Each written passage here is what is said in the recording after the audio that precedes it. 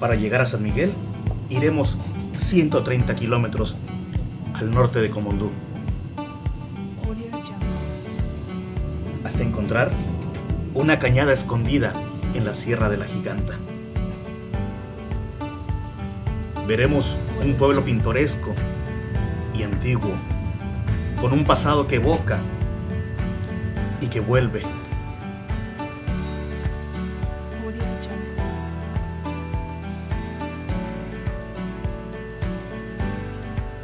Pueblo con historia, pueblo fundador de Comondú.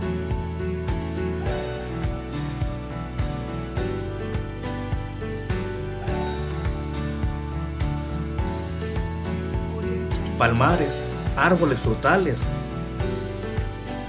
y agua.